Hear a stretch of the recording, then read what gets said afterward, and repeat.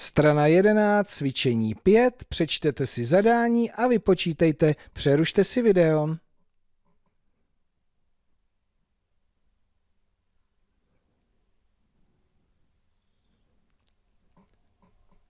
Máme? Tak, podíváme se na řešení.